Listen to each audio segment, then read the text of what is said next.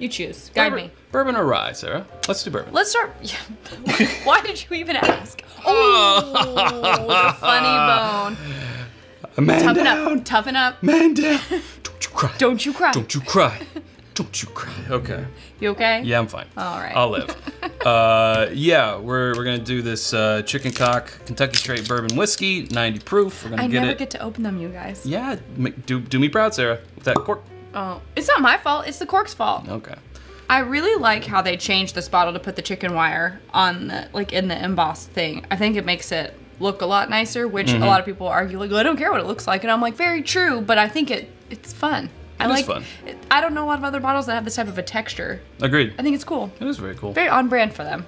Full disclosure, this and the rye were sent to us by the distillery, but of course our review is our own, but thank you to them for providing us a bottle so we didn't have to, you know, go out and buy one ourselves. Sure. So that's cool.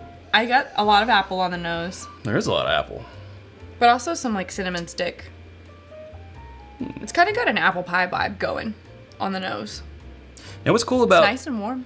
the brand anyway um, is this brand was started in my hometown, Paris, Kentucky. Really? Yeah, Bourbon County, Paris, Kentucky. Yeah, back in the 1800s. A little blurb here. One of the oldest bourbon brands in the U.S., Chicken Cock was established in 1856 in Paris, Bourbon County, Kentucky. Seven decades later, it was a staple of Prohibition-era speakeasies, including the world-famous Cotton Club. Known as the famous old brand, Chicken Cock died after World War II. Aw, probably from what, what, did- what did people die from in that era? I don't know. rickets or something. I don't know. Um, but, but but has now returned to its rightful place in the pantheon of great American heritage whiskeys. Okay. Pantheon. Uh, it says Owensboro, Kentucky. I took a picture of it at a store so we could talk about the price. 90 proof, as you said, no age statement, I which did. I can kind of tell. Oh, here it is. Okay, uh, fifty-seven ninety-nine. This was at maybe Total Wine, probably. Yeah. So fifty-seven ninety-nine. The rye is going to be seventy-two ninety-nine. I could see that. I mean, I always can see rye being more expensive just because rye is a more expensive grain. Yeah. Oh, Matt from the Whiskey Crusaders, always coming in with the info when we need it. He said the distillery burned down. Oh, I see. Yeah. Yeah, apple, kind of appley on the nose. Um, tell you what, it is, it is bringing some heat for a night. It's bringing some heat for a 90. It's sticking around on the tongue. Not so much getting that Kentucky hug just yet, I got it. but I think it's got a vanilla note on the finish. It does remind me of like an apple pie with ice cream or something like that. Um, so I think I think the Hmm. quality is there. I just 57 is a lot Yeah. for a 90 proof, you know? I agree. There, Says says us who just paid how much for that 100 proof William Heavenhill, but that's different. It's 13 years old. Yeah. This is not age stated, so that's something to, to keep in mind Right. as well. yeah, and that's also a once a year LE. This is you know all year round. That's true too. Um, I- I'm I'm getting a, a a graininess now. Sometimes that can be a bad thing. It's not so much that. It's not like a youth so much, but it is sort of grain forward, and I'm trying to kind of put my finger on what that grain is exactly. I don't know. I don't know. Maybe that's where I'm getting like a pie crust type of That might kind of be it. Yeah, ish. I'm not sure. almost like a a very light cornbread.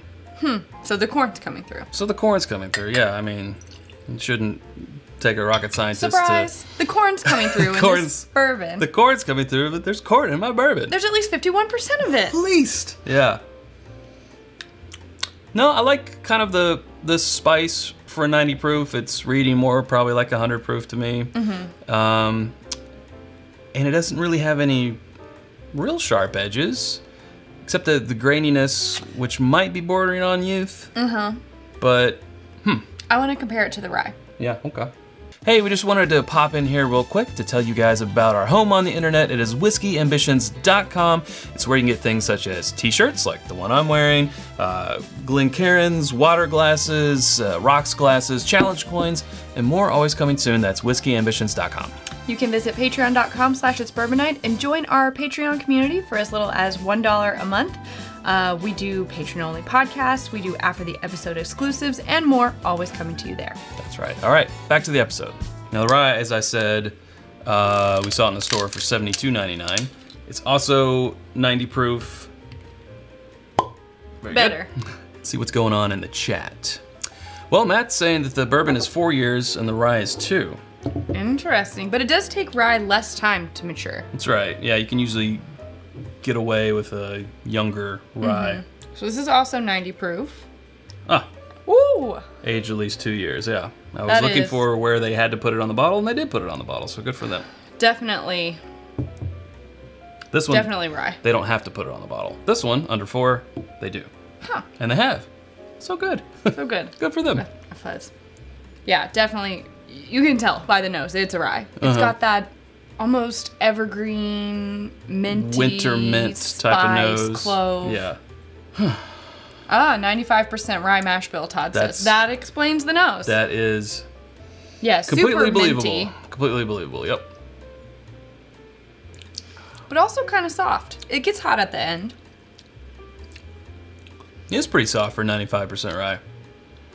Definitely still minty, but there's a savory note in there too. Of course, it's just 90 proof, so that might be kind of adding to it. that? I think it's a weird combination of like coming on winter mint and then going to spearmint. Maybe a light clove kind of dancing around in there. There's something savory in there too. Hmm. More cornbread? no, not in this one. Almost like bacon grease, but no. I don't know. It might be. And PC Fry says I always I think it is. call the taste pine needles.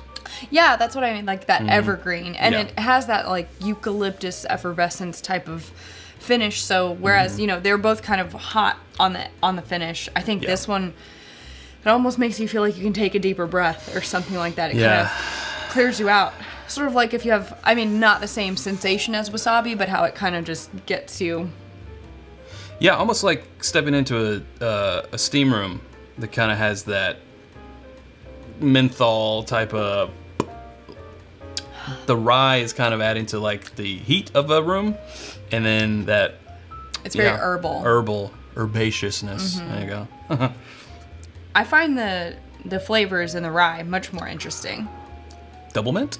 yeah, maybe. It's mellow, but it's still got rye flavors going on. Like this would definitely be something for me for like fall. I think this would be great in a certain kind of cocktail too. However, at $75 a bottle, I don't know that I want to put it in a cocktail. Agreed. And also, I don't I think I, mean do. that that 90 proof, it, it can cut through. It, it doesn't have to be I above that, but you- as that you 95% rye can cut through. Yeah, yeah, yeah, yeah. That would for sure. A certain type of cocktail, you, you hit it right with that. Yeah, it couldn't be like if it was fruity Hmm. and lemon forward and stuff like that. I don't think this is the right thing, but for a certain type of I'm gonna of drink. pull my bourbon glass back. Get a sploosh more. Yeah, it's almost got like a smoked ham or bacon grease type of Hmm. note in there hiding underneath the herbal that makes it a kind of a savory quality that offsets the mintiness, which I think is a lot more interesting. Like normally I don't gravitate to 95% rise because it just feels like licking a Christmas tree to me or something like that. Shh. It's not- Typically- it's not your time. Typically, I think we found that we like 95 fives that are older, like your whistle Yeah. pigs, and well, those are 100, but um, older high rye rise are better for us than younger ones that are 95 Mm-hmm. five. I think at two years, this is It's very pretty- interesting. It's very interesting. I wish it was this price I agree. or lower, but tell you what, going back to the bourbon after the rye is a much more enjoyable experience. So going back to the bourbon, Oh yeah, I did was you do gonna that? No, because Okay. you still have it. Okay. Okay. You're trying the bourbon again after the rye. Ooh, Yeah, it smells better, right? it does less sweet apple. Mm-hmm. For sure, for sure. I mean, I do think when you go back to it, by comparison, it, it is better than I thought it was at first. Yeah. Uh, I still think Yeah, I definitely like this, the bourbon, better after coming off the rye. I'm sticking with the rye. No, I wasn't saying that I pick the bourbon. I was saying I like the Mm. bourbon more after coming off the rye. I agree with that. I still like the rye best. I do think the rye is a little bit more unique. Now, nitty gritty time, recommend or not, since this is a, an official uncorking, um, I think the $55, $56 for this bourbon for a 90 proofer especially for the age. But age isn't everything, but you know that does come into account as a kind of a bar, right? Um, ah, I don't know. Uh, That's hard to give it a recommend. There's so many other things for that money that Yeah. you could get two bottles of. Sure. So that's gonna be like this, more to like a that. Yeah. Yeah, I'm definitely going to say pass here. Um, and I would say here, I would say yes, give it a try. If you've had something, like again though, if you've had Pikesville, it's a barely rye and it's higher proof. So you can't, Right. I can't really say go there first. And then if you like that, step up here because you're getting more rye content, but lower proof. So that's not really a good I guess if you like ryes and you know you like that minty spearmint, um, you know, eucalyptus, And if, and if 90's around your proof, right, then I would go with this. yeah. So Uh, because of the price, I'd probably say get it at, get it at a good price at a bar. You know, get a drink of it first. fair. Um, I think high rise are divisive. So Yeah, agreed. Then you should know that that's the the road you want to go. yeah. And we've had one of their limited editions too. Right, like remember- the eight year. Yeah, yeah. Uh huh. Yeah. I That was- remember liking that. That was pretty good. Well, I hope you enjoyed that um, uncorking lifted from one of our live shows. I know we did. If you want to catch the show live and participate in the chat, you can join us on Sunday nights at 8 p.m. Eastern Standard Time. That's right. Make sure you are subscribed so you get those reminders about that. In fact, if you haven't subscribed already, you can do so by clicking right up here. There's also suggestions of other videos right down here. We hope to catch you over there in those. Until then, thanks, Sarah. Thanks, Chad. Okay, drink more bourbon.